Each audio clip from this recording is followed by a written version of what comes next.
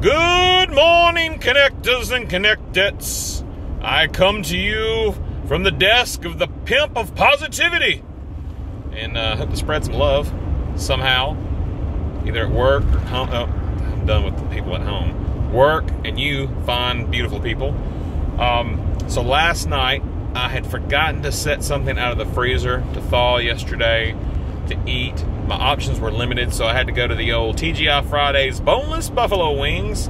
And when you scan them, it is 17 points. And I scanned them, and I've just been counting them as 17 points since the beginning of time. And over the last couple of weeks, I have been manually keying in my foods that I eat, and the point totals have been different in a lot of cases. So what I counted on was 17 last night with no plan in place wound up being 20 after I entered in all the nutritional information. So I made it. It's been one thing for me to bring up the one point mistake, but last night was a three point mistake. So I had my options limited for a dessert. I got to have my dessert.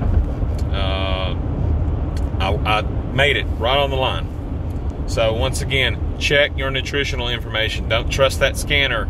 It's not. It, I'd say for me, it's just about half or a little over half the time it's correct. Uh, the more and more I scan, that number keeps going down. It used to be, I used to count on it 100%. Uh, so anyway, so I thought about, you know what? I know it's Thanksgiving week. I wasn't going to get into the weeklies, but I'm going to get into a couple because I got to have me a dessert that I want to have, and I know it's going to be X number of points, and I'm going to go over and get into the weeklies. But you know what? I started seeing some messages yesterday about people saying, you know what, I was in a funk, I was blue, I was down, I was going to eat my feelings, and I saw your post and it saved me. There is so much power in that. Man, I tell you what, here I am posting a silly song yesterday that I love doing because I'm a, I'm a dork. And uh, I love doing silly stuff like that. And if you saw my song yesterday, uh, but here here I am doing something just to be goofy, really for myself, and hope something got somebody got something out of it. And there's like three or four people that had their day turned around by it. Man, that made me feel so good. And, and it's like it's give to you, you give back to me in some uh, form or fashion. So I did not get into the weeklies. I stayed borderline last night. Felt good. It felt good about helping somebody else out, and it helps me out. We keep doing this round and round. I help you. I scratch your back, you scratch mine and uh, a little higher next time. I don't like it right there in the center of my back. But, uh, you know, I may be making a mistake. I think I've got another song that I want to do.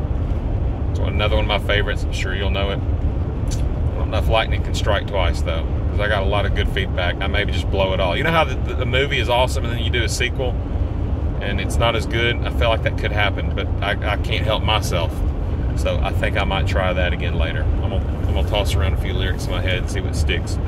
Uh, oh, and one other thing, I also ended the night last night on a great night because for about the third time in the last week, somebody asked me if I was gay. I love that. Uh, I don't even really give a straight answer because I just like people wondering. I don't want anybody figuring me out. Who wants to be figured out? I'd like to be unpredictable. So if you're afraid of me because you think I'm gay, don't. If you love me because you think I'm gay, embrace it. I do.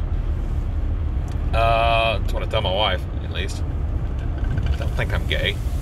All right. Everybody have a wonderful day. Do something productive. Short week. This is day two of a three. Day four of this week is going to be uh, a battle royal at the in laws, but I'm going to pull through. You're the best. I'm a dork. I love you, mean it. Until we meet again, I bid you freaking adieu. Stay classy, connect.